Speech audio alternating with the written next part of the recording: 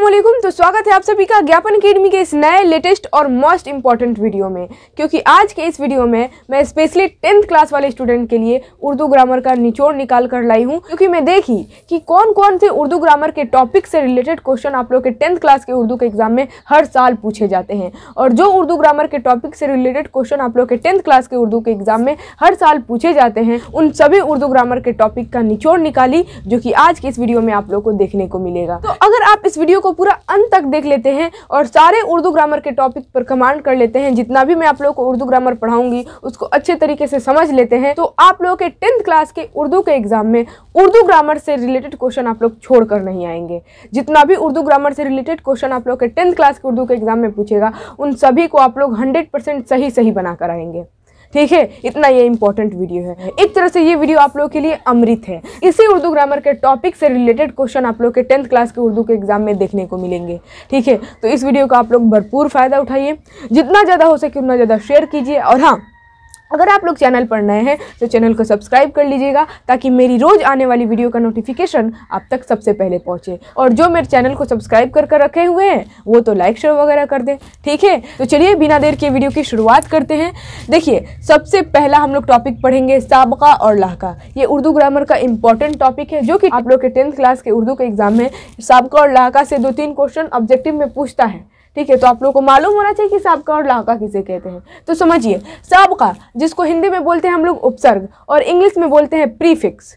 क्या बोलते हैं? प्रीफिक्स, और हिंदी में उपसर्ग। और आप लोग हिंदी इंग्लिश में ज़रूर पढ़े होंगे कि प्रीफिक्स या फिर उपसर्ग किसे कहते हैं। नहीं पढ़े हैं, कोई दिक्कत नहीं है। मैं यहाँ पर आप लोग को बता दे रही हूँ कि वह लेटर, ठीक है, वह हर्फ या फिर लेटर का समूह, ठीक है, जो किसी लफ्ज़ के शुरू में लग जाए जो किसी लफ्ज़ के, किसी वर्ड के शुरू में लग जाए और उसका मानी बदल दे, उस हर्फ को बोला जाता है सबका। जैसे कि यहाँ पर देखिए, शर्म था पहले और शर्म के शुरू में, ठीक है, पहले क्या लग गया है? बे लग गया है। तो बेशरम हो गया और इसका मानी भी चेंज हो गया। तो ये जो बे शुरू में लगा है, इसी को बोला जाता है साबका। ये जो बे शुरू में लग कर और शर्म का मानी बदल दिया है, बेशरम कर दिया है तो इस बे को बोला जाएगा साबका। ठीक है? जैसे कि यहाँ पर एक और देखिए पढ़ था पहले और उसके शुरू में क्या लग गया है? अन लग गया है। तो अनपढ़ हो गया है, ठीक है? तो अन क्या हो गया? ये अन, ये हो गया सबका आप लोगों का, ठीक है? यहाँ पर मोल था पहले और इसके आगे अन लग गया है तो अनमोल हो गया है, ठीक है? तो अन शुरू में लगा है ना तो अन को क्या बोल देंगे आप लोग? सबका। तो इसी तरह से क्वेश्चन आप लोग के एग्ज़ाम में पूछता है। कोई भी एक वर्ड दे देगा, जैसे कि अनपढ़। बोलेगा कि अनपढ़ में सबका कौन है?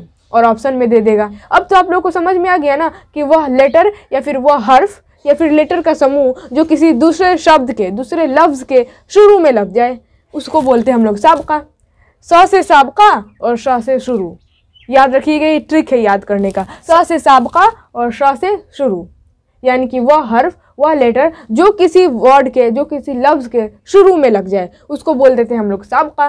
ठीक है? तो ये आप लोगों को याद हो गया और समझ में भी आ गया होगा। ठीक? आगे बढ़िए, दूसरा है लाहका। और लाहका को हिंदी में बोला जाता है प्रत्यय और इंग्लिश में बोला जाता है सफिक्स। ठीक है? और लाहका वह लेटर होता है या फिर वह लेटर का समूह होता है जो किसी शब्द के अंत में लग जाए लास्ट में लग जाए और उसका मानी चेंज कर दे, उसको बोलेंगे आप लोग लाहका। जैसे कि देखिए, ईद था पहले और लास्ट में क्या लग गया है? गाह लग गया है। तो ये गाह जो है, ये हो गया आप लोगों का लाहका। ठीक है? लास्ट में क्या लगा है गाह। तो ईद गाह पहले ईद था और लास्ट में गाह लग गया और मानी भी चेंज हो गया ईदगाह। तो ये गाह क्या हो गया आप लोगों का? लाह का दौलत था पहले और लास्ट में क्या लग गया? मंद लग गया। तो मंद क्या हो गया आप लोगों का? लाह का, क्योंकि ये लास्ट में लगा है, सबसे अंत में लगा है। चौकीदार, पहले चौकी था और लास्ट में दार लग गया। तो दार क्या हो गया आप लोगों का? लाह का। तो इसी तरह से क्वेश्चन पूछता है कि बताइए, कोई भी एक वर्ड दे देगा, दौलतमंद में लाह का कौन है?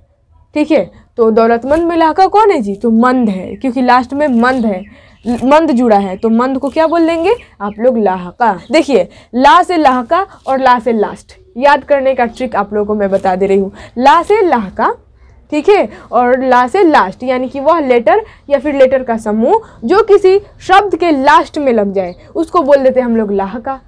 ठीक? याद हो गया होगा और समझ में भी आ गया होगा। चलिए, आगे बढ़िए। अब इससे रिलेटेड क्वेश्चन आप लोग एग्ज़ाम में पूछेगा तो आप लोग बना करा जाएँगे ना? बिल्कुल बना कर आएँगे आगे बढ़िए। इसमें इसमें मुसगर इसमें मुसगर किसे कहते हैं? तो देखिए मुसगर का मतलब होता है छोटा किया हुआ। और इसम तो आप लोग जानते ही हैं, इसम किसी भी चीज़ के नाम को कहते हैं। ठीक है? तो वह नाम, वह इसम जिससे छोटा होने का हमें पता चले, छोटा होने का मतलब भेद हो, उस तरह के इसम को उस तरह के नाम को इसमें मुसगर कहते हैं। जैसे कि देखिए, बाग के जगह बागीचा छोटा लग रहा है, संदूक की जगह संदूकचा छोटा है, किताब की जगह किताबचा मैं बोलूँ। जैसे क्या मालूम चल रहा है, बागीचा संदूकचा किताबचा ये छोटा होने का पता चल रहा है, छोटा होने का संकेत दे रहा है। कटोरा की जगह कटोरी बोल दूँ तो कटोरी क्या मालूम चल रहा है कि हाँ कटोरी, कटोरा से छोटा है। तो जिसे छोटा होने का मालूम चले ना, उस तरह के लफ्ज़ को, उस तरह के इसम को हम लोग बोलते हैं इसमें मुसगर और क्वेश्चन पूछता भी है। क्वेश्चन पूछता है कि इन जजेल में से कौन इसमें मुसगर है? और ऑप्शन में कोई एक इसमें मुसगर दे देगा। तो आप लोग अब आराम से लगा कर आ जाएँगे ना। आगे बढ़िए, इसमें मुकब्बर। इसमें मुकब्बर किसे कहते हैं? देखिए, मुकब्बर का मानी होता है बड़ा किया हुआ। यानी कि वह लफ्ज़ या फिर वह नाम जिससे बड़ा होने का पता चले। जैसे कि देखिए, घंटा। घंटी की जगह हम लोग घंटा बोले इसे मालूम क्या चल रहा है कि घंटा जो है वो बड़ा है। ठीक है? कटोरी की जगह अगर हम लोग कटोरा बोलते हैं तो कटोरा हाँ इसे मालूम चल रहा है कि हाँ कटोरा जो है, कटोरी से बड़ा है। या फिर बाल्टी की जगह अगर हम लोग बाल्टा बोल दें तो बाल्टा का मतलब बहुत बड़ा बाल्टा, ठीक है? तो जिससे बड़ा होने का पता चले, जिस इसम से, जिस नाम से आप लोग को बड़ा होने का पता चले, उस नाम को बोला जाता है इसमें मुकबर तो अगर इससे रिलेटेड क्वेश्चन आप लोग के एग्ज़ाम में आता है तो आप लोग उसको सही टिक कर कराना है, ठीक? आगे बढ़िए, इसमें आला। इसमें आला किसे कहते हैं? देखिए, इसमें आला उस नाम को कहते हैं जिससे औज़ार या हथियार का मालूम चले। यानी कि औज़ार या फिर हथियार के नाम को ही हम लोग इसमें आला कहते हैं। चौकी, हथौड़ी, लाठी, इससे मालूम क्या चल रहा है? ये हथि सॉरी चौकी नहीं, चाकू। चाकू, हथौड़ी, लाठी, ये इससे मालूम क्या चल रहा है? कि ये जो है ये एक हथियार का नाम है, औज़ार का नाम है। तो इस तरह के लफ्ज़, जो औज़ार या हथियार को व्यक्त करे, उस तरह के लफ्ज़ को हम इसमें आला कहते हैं। ठीक? आगे बढ़िए। वाहिद से जमा बनाने के लिए आप लोग एग्ज़ाम में पूछता है, ये तो पक्का है कि पूछेगा, हंड्रेड परसेंट पूछेगा। कोई भी एक उठा लेगा लफ्ज़, जैसे कि मान लीजिए फ़िक्र उठा लिया, बोलेगा कि फ़िक्र का जमा क्या होगा? और ऑप्शन में चार ऑप्शन दे देगा। तो आप लोग को सही ऑप्शन चुनना है। तो सबसे पहले समझिए, वाहिद को हिंदी में बोलते हैं एक वचन और इंग्लिश में बोलते हैं सिंगुलर ठीक है?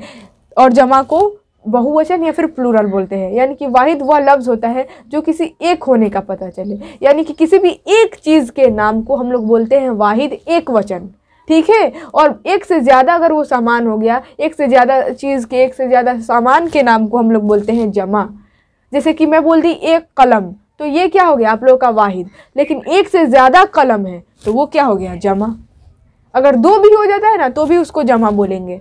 ठीक है? तो इसी तरह से क्वेश्चन पूछता है, जैसे कि फ़िक्र का बोलेगा, फ़िक्र का जमा क्या होगा? तो फ़िक्र का जमा होगा अफकार। जो भी ऑप्शन में अगर अफकार आप लोगों को दिखाई दे, उसको टिक कर देना है।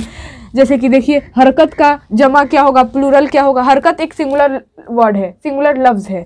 अब इसका प्लूरल यानी कि बहुवचन क्या होगा? तो हरकत। फेल का तो अफ़आल तो, तो इस तरह से कोई भी एक लफ्ज़ उठा लेगा और पूछ देगा कि इसका जमा क्या होगा। ये तो हंड्रेड परसेंट चांसेस है कि पूछेगा ही पूछेगा। इससे रिलेटेड क्वेश्चन मतलब एक दो तो पूछा ही जाता है। तो इसको आप लोग को ध्यान में रखना है। वाहिद से जमा वाला एक ना एक ज़रूर पूछेगा। आगे बढ़िए मुतरादिफ है। मुतरादिफ किसे कहते हैं? मुतरादिफ को हिंदी में बोलते हैं पारिवाची शब्द और इंग्लिश में बोलते हैं सिनोनिम यानी कि वह शब्द वह लफ्ज़ जो सेम मीनिंग रखता हो दूसरे लफ्ज़ के। वह शब्द वह लफ्ज़ जो का जिसका अर्थ दूसरे शब्द के बिल्कुल समान हो, उस लफ्ज़ को बोला जाता है मुतरादिफ। The word that has same meaning of another word that is called synonym यानी कि मुतरादिफ। देखिए, दुख और दुख का मुतरादिफ क्या हो गया? तकलीफ़। दोनों एक समान अर्थ रखते हैं, मानी रखते हैं। मैं अगर दुख बोलूँ तो भी आप लोग को समझ में आ जाएगा कि हाँ कोई ना कोई तकलीफ़ है। और अगर मैं बोलूँ तकलीफ़ तो भी आप लोग समझ में आ जाएगा कि हाँ इसको कोई तकलीफ़ है। ठीक है तो दुख और तकलीफ़, दोनों का मतलब एक ही है। तो इस तरह के लफ्ज़ को बोला जाता है मुतरादिफ लफ्ज़ एक समान अर्थ रखने वाले लफ्ज़ को मुतरादिफ लफ्ज़ अगर दुख बोलूँ, तकलीफ़ बोलूँ, परेशानी बोलूँ, सबका मतलब एक ही है। ठीक है? अर्थ एक ही है। आगे देखिए, इंतकाल इंतकाल या फिर मौत। बात तो एक ही है। अगर मैं बोलूँ कि उनका इंतकाल हो गया है तो अभी आप लोग समझ जाएँगे कि वो इस दुनिया में नहीं रहे। और अगर ये बोलूँ कि उनकी मौत हो गई है तो समझ में आ जाएगा तो भी इस दुनिया में वो नहीं है। ठीक है? तो दोनों का मतलब एक ही है। तो एक समान अर्थ रखने वाले शब्द को मुतरदिफ कहते हैं। आगे बढ़िए, ज़िद। और इससे भी क्वेश्चन आप लोगों को देखने को मिलता है। और ज़्यादातर इसी से देखने को मिलता है। कोई भी एक लफ्ज़ दे देता है और बोलता है कि बताइए, इस लफ्ज़ का ज़िद क्या है? ठीक है? तो जिद बोलते हैं अपोजिट वर्ड को। जिद को इंग्लिश में बोलते हैं एंटोनिम और हिंदी में बोलते हैं विपरीतार्थक शब्द। यानी कि वह शब्द, वह लफ्ज़ जिसका मानी दूसरे लफ्ज़ के बिल्कुल अपोजिट हो, उल्टा हो, उस लफ्ज़ को जिद कहते हैं। जैसे कि जुल्म का। जुल्म का उल्टा, विपरीतार्थक शब्द क्या होगा? रहम। रहमत का उल्टा क्या होगा? जहमत। नशीब का उल्टा, फिराज। कुफ्र का ईमान। दुखी का सुखी। ठीक है? आसमान का ज़मीन मतलब अपोजिट वर्ड को बोलते हैं हम लोग जिद। तो इससे क्वेश्चन आप लोगों को पूछना ही पूछना है। सबसे ज़्यादा इसी से पूछता है। ठीक है? आगे है मुजक्कर और मुन्नस ये दोनों आप लोग जानते ही होंगे। और इससे भी क्वेश्चन आप लोग को एग्ज़ाम में देखने को हंड्रेड परसेंट मिलता है। चार ठो ऑप्शन दे देगा और बोलेगा कि बताइए, इन मतलब दर्ज झेल में कौन मुजक्कर है? या फिर ये भी पूछ सकता है कि दर्ज झेल में कौन मुन्नस है? मुजक्कर को हिंदी में बोलते हैं प्रूलिंग यानी कि वह लफ्ज़ जिससे पुरुष जाति का होना पता चले, उसको बोलते हैं हम लोग मुजक्कर। जैसे कि कलम देखिए। ठीक है? कलम क्या है, मुजक्कर है? क्योंकि हम लोग ये बोलते हैं ना कि कलम नया है। आप लोग कभी ऐसे सुने हैं कि कलम नई है? नहीं, कलम नया है। तो कलम क्या हो गया? आप लोगों का मुजक्कर। ठीक है, मुजक्कर होता है कलम। कलम नया है। तो इससे क्या मालूम चल रहा है? पुरुष जाति का होना पता चल रहा है। तो कलम हो गया आप लोगों का मुजक्कर। ऐसे आप लोग कभी सुने हैं कि कलम नई है? नहीं, कलम नया है, होता है। ठीक है तो कलम क्या हो गया? मुजक्कर, मजमून, गीत, बुखार वगैरह, ये सब क्या है? मुजक्कर वर्ड है। बुखार, मुझे बुखार हो गया है। तो बुखार हो गया है लास्ट में हो गया है। ठीक है तो इससे मालूम ये चल रहा है कि मुजक्कर है। ऐसे थोड़ा ना होता है कि मुझे बुखार हो गई है। मुझे बुखार हो गया है। मुजक्कर वर्ड है। बुखार। ठीक है? और मुन्नस जिससे किसी स्त्री जाति का होना पता चले, इसको हिंदी में बोला जाता है स्त्रीलिंग। यानी कि वह लफ्ज़ जिससे किसी स्त्री जाति का होना पता चले, उसे बोलते हैं हम लोग मुन्नस जैसे कि रूह रूह निकल गई। आप लोग ऐसा थोड़ा ना सुने हैं कि रूह निकल गया। निकल गया थोड़ा ना होता है, रूह निकल गई। ठीक है? तो इट मीन्स रूह जो है वो मुन्नस है। खबर खबर मिली है मुझे। अब खबर मिला है। अब जो बोलता होगा खबर मिला है वो गलत बोलता है। तो यहाँ पर खबर क्या हो गई? मुन्नस हो गई क्योंकि खबर मिली है मिली है। ऐसा थोड़ा ना होता है खबर मिला है। खबर मिली है इसको क्या बोल देंगे मुन्नस अकल ठीक है? दरगाह वगैरह। तो ये जितने भी लफ्ज़ हैं ये क्या हो गए? मुन्नस हो गए, जिससे किसी स्त्री जाति के होने का पता चलता है। तो ये हो गया आप लोगों का दस टॉपिक जिसको आप लोग बहुत ही अच्छे तरीके से समझ गए। अगर इससे रिलेटेड क्वेश्चन आप लोग के एग्ज़ाम में देखने को मिलता है हंड्रेड परसेंट देखने को मिलेगा। बस आप लोग को उसको सही सही टिक करके आना है। ऐसा हो ही नहीं सकता कि इससे क्वेश्चन ना पूछे। हंड्रेड परसेंट पूछेगा। ठीक है? तो आप लोगों को दसों टॉपिक को तो मैं आप लोगों को समझा दी। अब इसका मतलब ये नहीं समझिए कि दस ही ठो है। अभी और भी है जो आप लोगों को मैं समझाऊँगी। पहले लीजिए यहाँ तक फटाफट। स्क्रीन शॉट अब चलिए आगे समझिए। देखिए, ग्यारह नंबर है मुहावरा। आप लोगों के एग्ज़ाम में मुहावरा से रिलेटेड क्वेश्चन देखने को मिलता है। हंड्रेड परसेंट एक दो क्वेश्चन आप लोगों को मिलेगा ही मिलेगा। कोई भी एक मुहावरा दे देगा और बोलेगा कि बताइए इसका मानी क्या है। जैसे कि देखिए, बाल की खाल खींचना। बाल की खाल खींचना का मानी आप लोगों को मालूम है? इसी तरह का कोई एक मुहावरा दे देगा और पूछेगा कि बताइए इसका मानी क्या है। तो बाल की खाल खींचने का मानी होता है छानबीन करना। जाँच पड़ताल करने को बोलते हैं बाल की खाल खींचना। दांत खट्टे करना, यानी कि बहुत ज़्यादा किसी को परेशान कर देना। नौ दो ग्यारह होना, यानी कि फ़रार हो जाना, भाग जाने। को, को बोलते हैं नौ दो ग्यारह होना। तो वगैरह वगैरह बहुत सारी मुहावरे हैं इस दुनिया में। तो कोई भी एक मुहावरा पूछ देगा और उसका पूछेगा कि बताइए इसका मानी क्या हुआ है। तो आप लोग को बताना है। ठीक है? आगे बढ़िए जुमला दुरुस्त करें। ये क्वेश्चन आप लोग को हंड्रेड परसेंट देखने को मिलेगा। कैसे क्वेश्चन पूछता है मैं आप लोग को बताती हूँ। देखिए क्वेश्चन इस तरह से पूछता है कि दर्ज झेल में कौन सा जुमला दुरुस्त है? और चार ऑप्शन दिया रहेगा। चारों ऑप्शन में एक एक जुमला सेंटेंस दिया रहेगा। आप लोग को बताना है कि कौन सा सेंटेंस सही है। ठीक है? और मान लीजिए ऑप्शन में दिया रहता है अहमद अहमद ने पटना जा रहा है, ठीक है? अहमद को पटना जा रहा है। अहमद पटना जा रहा है, ये वाला दे देगा, और एक दे देगा, अहमद पटना जा रहा है, ये वाला है, ठीक है? तो और पूछेगा बताइए कि कौन सा ऑप्शन जो है वो सही है, कौन सा जुमला सही है? तो ऐसे तो होता नहीं है कि अहमद को पटना जा रहा है, ऐसा तो होगा नहीं। अहमद ने पटना जा रहा है, ऐसा भी नहीं होगा जुमला। सेंटेंस ऐसा कभी सुने हैं? अहमद ने पटना जा रहा है। नहीं, अहमद को पटना जा रहा है। ऐसा भी नहीं सुने आप लोग सेंटेंस अहमद पटना जा रहा है। ये वाला भी है नहीं होता है। अहमद पटना जा रहा है। ये वाला है होता है। ठीक है? तो ये होगा आप लोगों का सही जवाब। तो इस ज़रूर नहीं कि ये सवाल पूछेगा। कोई भी एक सेंटेंस दे सकता है। और पूछता है कि बताइए कौन सा जुमला दुरुस्त है? तो आप लोग को है और है में कंफ्यूज नहीं होना है। अहमद पटना जा रहा है, यहाँ पर ये वाला है रहेगा। ठीक है? तो इस तरह से अगर क्वेश्चन पूछता है तो आप लोग को सही टिक करके आना है। जुमला दुरुस्त करने वाला तो पक्का है कि पूछता है आप लोग के एग्ज़ाम में। चलिए, आगे बढ़िए। इसम मारफा और इसम नखरा। ये दोनों से क्वेश्चन पूछ देता है। कैसे क्वेश्चन पूछता है? बोल, बोलता है कि दर्ज झेल में कौन इसम मारफा है? या फिर इस तरह से पूछेगा कि दर्ज झेल में कौन इसम नखरा है? चारों ऑप्शन में से आप लोग को बताना है कि कौन इसम मारफा है या फिर कौन इसम नकरा है। ठीक है? तो अब समझिए इस मारफा किसे कहते हैं और इस नकरा किसे कहते हैं। देखिए, इस मारफा को हिंदी में बोलते हैं व्यक्तिवाचक संज्ञा और इंग्लिश में बोलते हैं प्रॉपर नाउन और इस नकरा को हिंदी में बोलते हैं जातिवाचक संज्ञा और इंग्लिश में बोलते हैं कॉमन नाउन इस मारफा किसे कहते हैं? किसी भी खास व्यक्ति, किसी भी खास चीज़ या फिर किसी भी खास जगह के नाम को हम इस मार्फा कहते हैं। जबकि किसी भी आम चीज़ के नाम को, आम चीज़, आम जगह के नाम को हम लोग बोलते हैं इसम नकरा।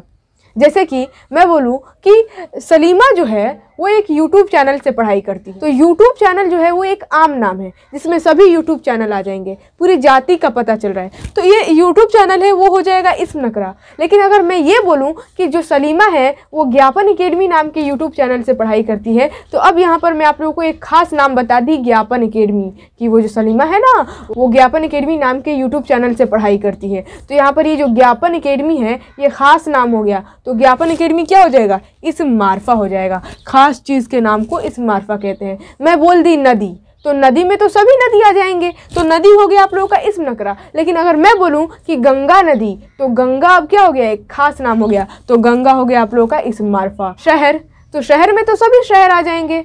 यहाँ पर आप लोग को खास तो नाम नहीं बताया गया कि कौन सा शहर। तो ये जो शहर है, वो हो जाएगा इसम नकरा। लेकिन अगर ये मैं बोलूँ कि पटना शहर तो पटना क्या हो गया? खास नाम हो गया, जिसको बोल देंगे आप लोग इसम मारफा। ठीक है? तो इस तरह से क्वेश्चन पूछता है तो आप लोग को एग्ज़ाम में सही टिक करके आना है। ठीक है? आगे बढ़िए, सवालिया। तो सबसे पहले समझिए, सवालिया किसे कहते हैं? सवालिया सवाल करने को। जिस जुमले में आप लोग को सवाल दिखाई दे क्वेश्चन उसको बोल देते हैं सवालिया। जैसे कि, तुम कौन हो? वह कहाँ जा रही है? तो इसमें सवाल पूछा जा रहा है ना? क्वेश्चन पूछा जा रहा है कि वह कहाँ जा रही है? तुम कौन हो? तो ये जो सवाल इस सेंटेंस में आप लोग को दिखाई दे रहा है तो इस तरह के जुमले को, इस तरह के सेंटेंस को आप लोग बोलेंगे सवालिया। तो क्वेश्चन किस तरह से पूछता है? कोई भी एक सेंटेंस दे देगा सवालिया का, जैसे कि वह कौन है? ठीक है, वह कौन है? ये किस तरह का जुमला है? और ऑप्शन में दे देगा सवालिया, खबरिया, अमरिया और सिफत। तो वह कौन है? किस तरह का जुमला है? तो इसमें क्वेश्चन का मालूम चल रहा है ना तो वह कौन है? ये एक सवालिया जुमला है। ठीक है? तो इस तरह से क्वेश्चन पूछता है तो आप लोग तो फटाफट लगा कर आ जाएँगे सही सही आगे है खबरिया, यानी कि वैसा जुमला जिससे खबर का पता चले। जैसे कि अहमद का ख़त आया। इससे आप लोग को खबर मालूम चल रही है कि हाँ अहमद का ख़त आ गया।